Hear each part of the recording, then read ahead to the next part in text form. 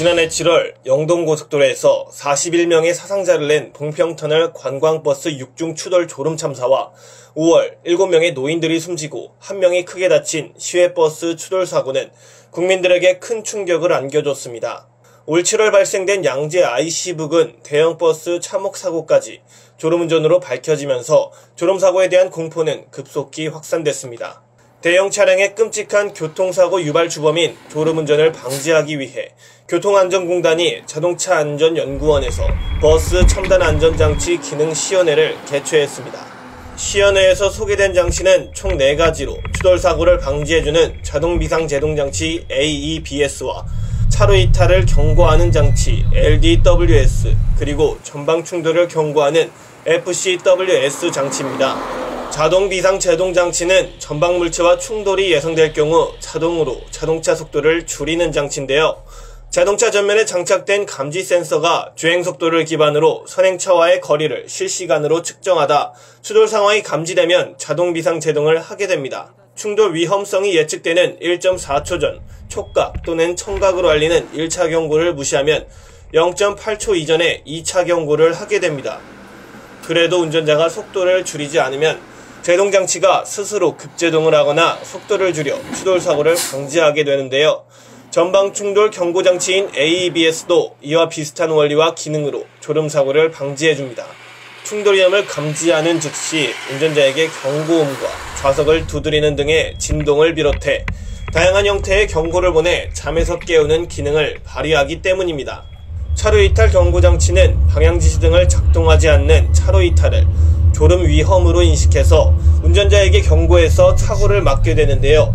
전면 유리에 장착된 비전 카메라가 차선을 인지하고 전자식 제어기는 자동차의 위치를 계산해서 차로 이탈 가능성까지 예측한다고 합니다. 이처럼 첨단 안전장치는 교통사고 피해를 최소화하는데요. 실제로 유엔과 유럽 연구 분석에 따르면 AEBS와 LDWS는 교통사고 사망자 18%와 15%를 각각 감소시킨 효과가 있는 것으로 나타났습니다. 국토교통부가 지난 7월 발표한 사업용 차량 졸음운전 방지 대책에 따르면 운행 중인 수도권 광역버스 3천여 대에 전방 충돌 경고 기능을 포함한 차로 이탈 경고 장치 장착을 완료할 계획입니다. 2019년에는 전방 충돌 경고 기능이 포함된 차로 이탈 경고 장치를 장착해야 하는 사업용 차량 대상도 기존 11m 초과 승합 차량에서 고속도로를 운행하는 길이 9m 이상 사업용 승합 차량으로 확대가 되는데요. 아울러 공단은 졸음사고와 직결되는 최소 휴게시간 미준수 단속의 키가 되는 디지털 운행 기록계 활용과 작동 방식도 공개했습니다. 사업용 자동차에 의무 장착된 디지털 운행 기록 자료를 현장에서 추출하면 운전자가 휴게 시간을 지켰는지가 실시간으로 나타나고 현장 단속기에 운행 데이터를 입력할 경우 피로 운전 여부까지 판단되기 때문입니다.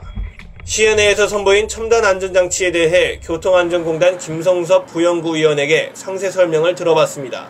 첨단 안전장치인 어, 자동 비상제동 장치, 그다음에 차로 이탈 경고 장치, 전방 충돌 경고 장치는 운전자의 안전을 갖다 보조하는 장치입니다.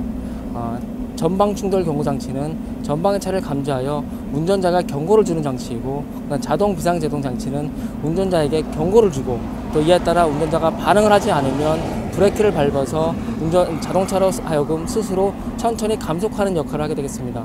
또한 차로 이탈 경고 장치는 차선을 감지하여 운전자가 모르게 운전자가 차선을 이탈할 시 경고를 주는 장치입니다.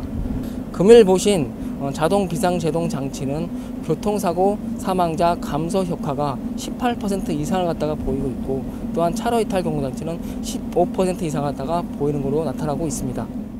하지만 실제로는 변수가 너무나도 다양한 도로교통 환경을 전혀 고려하지 않은 단편적 실험을 했다고 지적하는 교통 전문가도 적지 않습니다.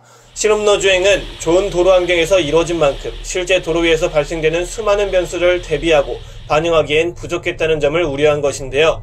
한 전문가는 핵심 포인트는 카메라 인식률을 높이는 조도 센싱 기술이고 이는 곧 유사시 발휘하게 될 안전의 관건이라고 덧붙였습니다. 주변이 밝고 차선과 물체 등이 뚜렷하게 확인이 되는 상황에서 진행됐다는 얘긴데요. 조도가 급변되는 터널 진출입이나 그늘지고 어두운 음영 공간, 특히 햇살이 마주하는 주행 상황이거나 우천시 염려되는 취약성을 확인하지 않은 것은 매우 아쉽다고 했습니다. 한마디로 카메라가 얼마나 인식을 할 수 있는지, 즉 성능의 척도가 되는 열악한 교통환경 실험이 배제됐다는 건데요. 이는 호환 프로그램이 아무리 뛰어나도 카메라가 인식하지 못하면 정확성도 떨어질 수밖에 없기 때문에 공개 실험의 허점이자 곧 미지수라는 겁니다. 많은 승객들이 탑승한 노선 버스도 급제동을 잘 하지 않는데 그 이유는 바로 안전사고로 이어지기 때문입니다. 앞쪽으로 쏠리고 넘어질 수 있기 때문에 급제동을 하지 않는데 10m 전 자동 급제동을 하더라도 2차 사고를 피할 수 없는 상황도 있습니다. 공단이 시행한 버스와 화물차 승용차의 마른 노면과 젖은 노면 제동거리 실험 결과가 이를 뒷받침하는데요. 시속 50km 속도에서 마른 노면과 젖은 노면 제동거리를 비교했을 때 버스는 17.3m와 28.9m였고 화물차는 15.4m와 24.3m에 정지했습니다. 실차 실험을 비교해 본다면 과적도 제동거리를 더 길게 하는 원인이고 또 시속 100km의 속도 역시 제동거리를 급증하는 위험이 있습니다. 만일 졸음운전 상태로 사고로 멈춘 차를 보지 못하고 10m까지 달려왔다면 과연 안전할까를 반문하지 않을 수 없게 됩니다. 교통사고는 최적의 운전 환경이 아닌 상태에서 대형화됩니다. 따라서 이에 대한 변수는 반드시 검증돼야 한다고 생각합니다. 교통뉴스 최중입니다.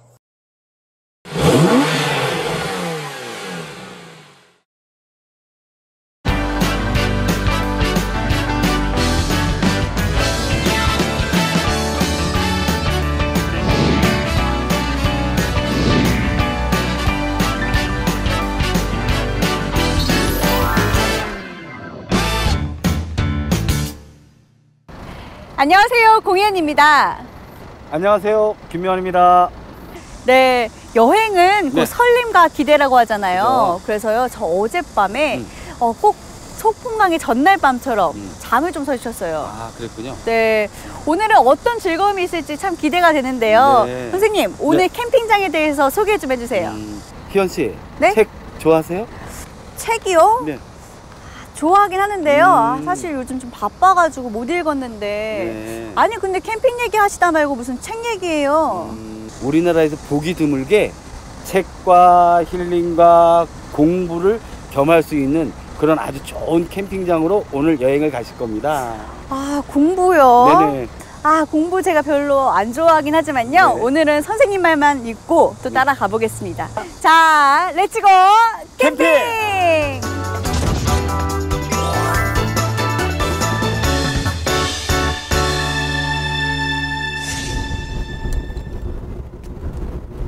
왠지 책이 많을 것 같다는 느낌이 드는데. 그죠? 네. 거기에 가면 도서관 허가까지 나가 있어요. 어, 도서관? 네. 네. 북캠프에 가서 공부를 해야 돼. 아, 진짜요? 그러면 공부라니 살짝 부담이 되긴 했는데요. 그래도 주변의 산과 들을 보면서 흙냄새, 풀냄새를 맡다 보니 언제 걱정했냐는 듯 싹 잊게 되더라고요. 한참을 달려 목적지에 도착했나 싶었는데, 응? 아무리 봐도 일반적인 캠핑장의 모습은 아닌 것 같죠? 선생님, 네. 여기는 성이잖아요. 그죠? 설마 오늘 여기서 캠핑하는 건가요? 아니죠? 오늘은 희연 씨가 공부를 많이 하는 캠핑을 한다 그랬죠? 네. 여기가 어딘지 아세요? 설마 이거 퀴즈인가요? 저 알아요. 여기 충남 공주시잖아요. 그죠? 공주시는 각각의 지역마다 관광지가 굉장히 많습니다. 그 관광지 중에서 세계 유산으로 등록될 정도로 유명한 곳이 바로 이곳 공산성이거든요. 아, 진짜요? 그럼 저 오늘 열심히 공부해야겠네요. 그럼 한번 올라가 보실까요? 가볼까요? 네. 네. 세계 문화유산과 많은 유적지를 품은 도시가 바로 공주시인데요. 그 중에서도 이곳 공산성은 공주 여행에서 절대 빠져서는 안 되는 필수 코스랍니다. 자연적인 그 요새화돼 있잖아요. 저 땅바닥보다 이게 높죠? 네. 그 높은 데다가 그 위에다가 성벽을 쌓았으니까 굉장히 그 천연 요새라고 보면 돼요. 아. 공산성이. 해발 1100m 능선을 따라 쌓은 공산성은 성곽의 둘레가 무려 2450m라고 하는데요. 공산성 성문은 동서 남북 방향으로 총 4개인데요. 저희는 서문에 해당하는 금서루로 들어섰습니다. 공산성을 걷다 보면 노란 깃발이 바람에 휘날리는 모습을 쉽게 볼 수 있습니다. 깃발의 노란색은 백제를 상징하는 것으로 홍산리 6호분 벽화에 사신도의 바탕을 둔 것이랍니다. 저 멀리 보이는 것이 금강과 금강철교입니다. 시원한 풍경에 힘든 줄도 모르고 계속해 오르다 보니 어느덧 공산정에 도착했습니다. 이곳은 사방이 탁 트여 공주시 전역을 볼 수 있는 정자인데요. 그동안 그냥 전망대라고 불리다 시민 공모전을 통해 2009년 공산정이라는 이름이 붙었다고 합니다. 성을 내려오다 보니 활쏘기장이 보이는데요. 저희가 그냥 지나칠 수 없죠. 자세를 잡고 팔을 당겨서 쏘세요. 와, 보셨어요? 처음 활쏜 것 치곤 잘하지 않았나요? 커피 한 잔 하실까요? 산성을 둘러보느라 묵직해진 다리도 쉴 겸 잠시 쉬어가기로 했는데요. 운치 있는 곳에서의 커피 한 잔, 피곤함도 싹 잊게 되더라고요. 이곳저곳 보고 싶고 더 머물고 싶었지만 우리의 목적지는 이곳이 아니잖아요. 아쉬운 발걸음을 뒤로하고 공주 시내에서 약 20분 정도 달리다 보니 드디어 캠핑장에 도착했습니다. 입구를 들어서면 눈앞에 펼쳐지는 넓은 잔디 운동장이 먼저 저희를 반깁니다. 이곳은 2002년 폐교한 영정초등학교를 개조해 만든 캠핑장인데요.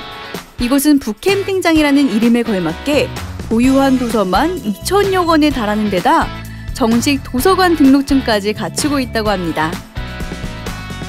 그 외에도 야외 도서관, 유아 도서관, 북카페, 그리고 펜션과 글램핑 등 숙박 시설 및 각종 놀이 시설과 편의 시설이 갖춰진 신개념 리조트입니다.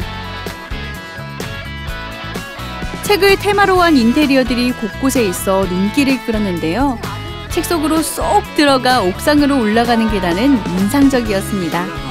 진짜 너무 그죠. 예쁘네요. 나무들과 글램핑이 아주 조화롭게 어울려서 만들어진 곳이에요. 네, 마치 동화 속의 한 장면 같아요. 네, 와. 그죠. 한번 쭉 훑어볼래요? 여기가 전경이 제일 좋습니다. 와, 너무 예쁘네요. 네. 이곳을 만드신 분이 인문학 캠핑을 만들기 위해서 굉장히 노력하시는 분이세요. 어, 그 말 그대로 음. 책과 자연이 같이 살아 숨쉬는 곳 같아요. 그죠. 네. 그리고 와. 밤하늘에는 수많은 별들이 무수히 떨어지는 것처럼 맑게 보이는 곳이 이곳입니다. 아, 진짜요? 네. 아, 이 정말 보니까 불빛이 하나도 없어서 네. 정말 별이 잘 보이겠어요. 그죠. 이제 여름이 다 갔어요. 그러니까요. 가을이에요. 그죠? 네. 음. 아, 선생님. 네. 여기가 글램핑장인 거죠? 맞습니다. 여기가 글램핑장이에요. 글램핑이라는 거는 네. 아주 고급스러운 캠핑이라고 생각하시면 돼요. 어. 글램핑장에 있는 글램핑 텐트에 와 보시면 모든 편의 시설이 다 갖춰져 있다고 보시면 돼요. 선생님, 그러면 전에 갔던 카라반 캠핑장과 이 글램핑장과의 차이점은 뭔가요? 캐러반 캠핑은 이동하는 주택이라고 보시면 돼요. 그 이동하는 주택을 캠핑장에다가 설치를 해서 캐러반 캠핑장이라고 하는 거고요. 이 글램핑장은 글램핑을 설치를 해서 캐러반보다 조금 더 넓고 좀 편하게 만든 곳을 글램핑장이라고 생각을 하시면 됩니다. 아, 그렇군요. 그럼 이 글램핑장은 우리나라에 언제부터 활성화가 됐어요? 한 4, 5년 전쯤인가요? 음, 골프장이나 호텔에서 식음료, 즉 음식을 팔기 위해서 설치를 했던 것을 캠핑장으로 가지고 들어오면서 캠핑장에서는 이 글램핑을 고정식 천막이라고 이해를 하는 거죠. 글램핑 텐트 안은 어떤 모습일까요? 우와! 오, 완전 집이네요. 그죠? 네. 아, 정말 집처럼 없는 게 없네요. 그럼요. 자, 침대 있죠. 여기 옆에 소파 있죠. 소파도 있고. 그다음에 냉장고. 냉장고까지. 밥을 해 먹는 밥솥. 널찍한 내부에는 침대와 소파가 있고요. TV. 냉장고와 TV까지 각종 편의 시설이 다 갖춰져 있어서 집처럼 편안한 휴식을 취할 수 있을 것 같았습니다. 네. 선생님, 근데 여기는 뭔가요? 그죠? 이 문이 뭐가 있는데 한번 열어보실래요? 네, 네. 제가 열어봐도 될까요? 예, 그럼요. 한번 열어보겠습니다. 짜잔, 세 개. 아, 와. 우와, 진짜 집이네요. 웬만한 글램핑 텐트에는 갖추기 힘들다는 화장실까지 매력이 너무 넘치네요. 완전 편해요. 좋죠? 또 이 색다른 그런 캠핑 맛이 나죠? 네, 와, 아, 선생님. 네. 이 글램핑이 지난번 저희가 같이 갔던 카라반 캠핑과 같이 특별한 준비가 없이 훌쩍 떠날 수 있다는 게 장점인 것 같아요. 어, 그러죠. 캐러반 캠핑처럼 여기도 아무런 준비 없이 와서 캠핑을 즐길 수 있는 곳이 글램핑장이에요. 네. 어, 저는요, 글램핑장이 조금 더 마음에 드는 것 같아요. 네. 이렇게 텐트 치는 기분도 나고, 네. 또 특별한 불편함도 없고요. 네네네. 젊은 친구들이나 모든 어떤 그런 가족들이 넓게 그리고 바로 문 밖에 나가면 자연이 함께 하잖아요. 그래서 글램핑장들을 굉장히 선호합니다. 선생님, 네. 저희가 북 캠핑장에 왔으니까요, 네. 독서를 빼놓을 순 없겠죠? 그럼요. 아주 예쁘게 만든 북카페로 지금 가보실까요? 네, 가시죠. 네. 본격적으로 책을 읽기 위해 북카페로 들어갔습니다. 한쪽 벽면에 책들이 정말 가득했는데요. 이곳 북캠핑장을 운영하는 분이 안산에서 대형 서점을 함께 운영하고 있어 이곳엔 언제나 베스트셀러뿐 아니라 최신간도 늘 비치를 해놓고 있다고 합니다. 아, 나는 골랐어요. 오, 네. 저도 골랐습니다. 아, 그랬군요. 네. 제가 읽고 싶었던 책이거든요. 아, 진짜요? 아, 네. 저도 이거 오늘 이거 한번 읽어볼게요. 아, 그래요? 네. 늘 바쁘다는 핑계로 책 한 권 제대로 읽지 못할 때가 많았는데 이곳에서 커피 한 잔과 함께하는 독서는 그야말로 여유와 행복이 느껴지는 시간이었습니다. 한 장 한 장 책을 넘기며 책 읽는 즐거움에 빠져 있다 보니 시간 가는 줄 모르겠더라고요. 이제 좀 출출해지네요. 배고프죠? 네. 딱 저녁 먹을 시간 아니야? 맞아요. 그죠? 또 저녁 드시나 봐요. 그러니까요. 올해 인사드려 볼까요? 뭐, 예. 안녕하세요. 음, 안녕하세요. 네. 네, 오늘 저녁 메뉴가 라면이신가 봐요. 그러니까. 네. 네. 아이들이 캠핑장에 와서 꼭 한번 라면을 먹고 싶다고 해서요. 그렇군요. 혹시 제가 그 라면을 가지고 맛있는 요리를 해드릴 수 있는데. 아, 정말요? 어, 그럼요. 방법이 있어요? 아, 그럼요. 맛있게 해드릴게요. 네, 너무 감사하죠. 아, 그럴까요? 네.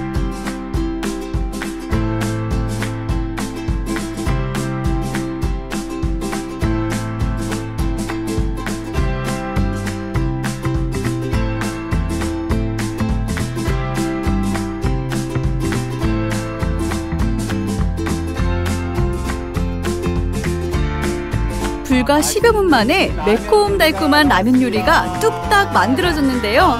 너무 맛있어 보이죠? 캠핑장에서 먹는 라면 두말할 필요도 없이 맛있죠.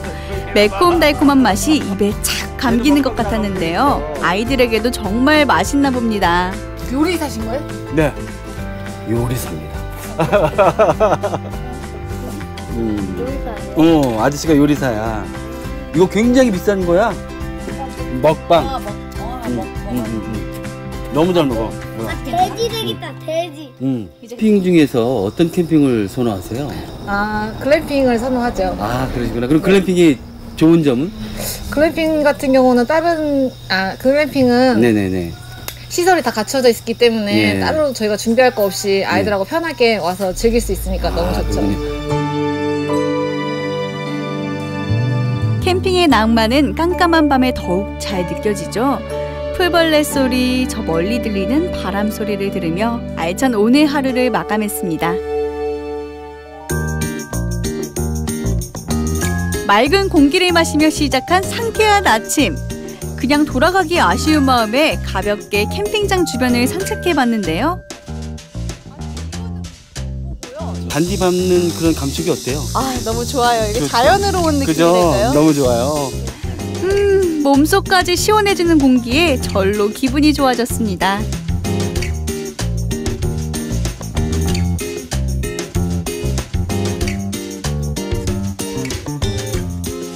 희연 씨, 오늘 캠핑 어떠셨습니까?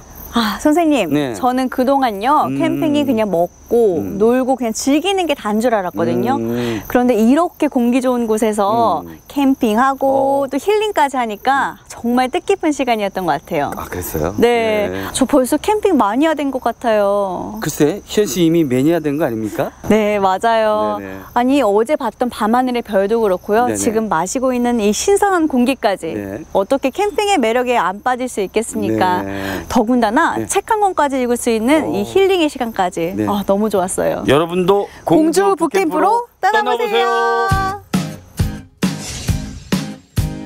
Bluebird, bluebird, sitting on my windowsill, singing sweetly out into